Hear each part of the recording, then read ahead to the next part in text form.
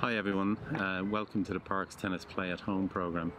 I'm Liam Cassidy and in this video we're going to take a look at some important things you need to keep in mind when choosing equipment for your child. The first thing I want to talk about are tennis balls. I'm sure many of you that have, have your kids involved in coaching probably know that there are different versions of, of tennis balls. The first stage is called the, the red ball and this ball is, is actually 75% slower than a standard tennis ball. Um, it's also a little bit larger than a standard tennis ball and it doesn't bounce quite as high as a, a standard tennis ball. Uh, why is that important? Because with young kids, uh, I often see it in, in clubs and in parks that I coach at. I see parents playing with their child and making their best effort to work well with them, but the, the young child becomes overwhelmed by the bounce of a standard tennis ball. So using these coloured balls really makes a huge difference. Uh, what does it do? It, it helps it helps the child experience success. So for example, with a standard tennis ball, a typical six or seven year old player could can probably only make one or two shots without making a mistake. Whereas you give them a red ball and that one or two shots becomes six or eight shots. Um, from a success point of view, that, that you know helps build their confidence and helps them feel more confident about their tennis. The next stage is, is the orange ball, and the orange ball is, is 50% slower than a standard tennis ball again is a little bit lighter and doesn't bounce quite as high. And then the third stage is the green ball. This is 25% slower than a standard tennis ball. Uh, again, a little bit lighter, doesn't move quite as fast. And then we're onto a, a standard tennis ball. And one of the one of the biggest things you can do for your child is to make sure that you're using the correct tennis ball. If you're out there practicing with your six, seven, eight, nine year old child and you're using a standard tennis ball, you're really going to make it quite difficult for them. I once heard it described this way and I thought it was a great description. It's like trying to play football with a basketball. That's how, how much of a challenge it can be. These tennis balls are readily available in most sports shops, so I would highly recommend that you take the time to, to get the appropriate ball for your child. At the end of this video, we'll have a chart um, to help you identify what ball and what racket your child may need.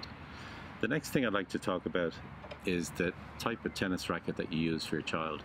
Uh, tennis rackets these days come in, uh, they start at 21 inches and they go, go up in increments of two inches. Um, this would be a typical racket for a six, six or seven year old. It's a 21 inch racket. And the general rule of thumb is if your child stands up straight, holds the racket in their playing hand and puts it down by the side, the racket should just about touch the ground. If the racket is uh, the big space between the end of the racket and the ground, the, the, typically the racket is too short. The general rule of thumb, however, would be that it's better that a child has a racket that's a little bit too small that they can handle rather than a racket that's too big that they cannot handle.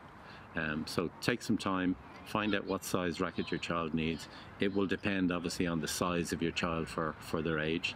Um, so try to make that, that good choice as far as rackets go.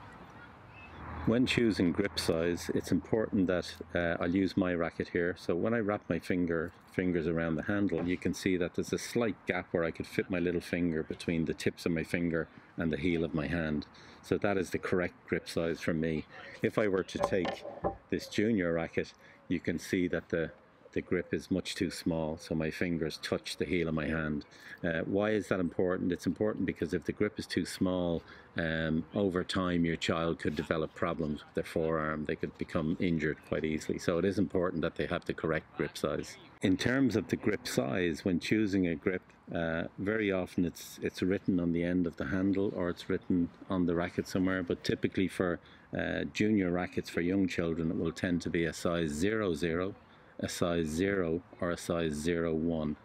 Uh, they tend to be the smaller grip sizes.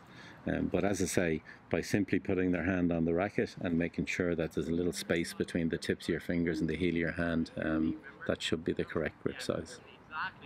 Okay guys, so there were some quick tips on how to choose the correct balls and uh, tennis rackets. I hope you found this valuable.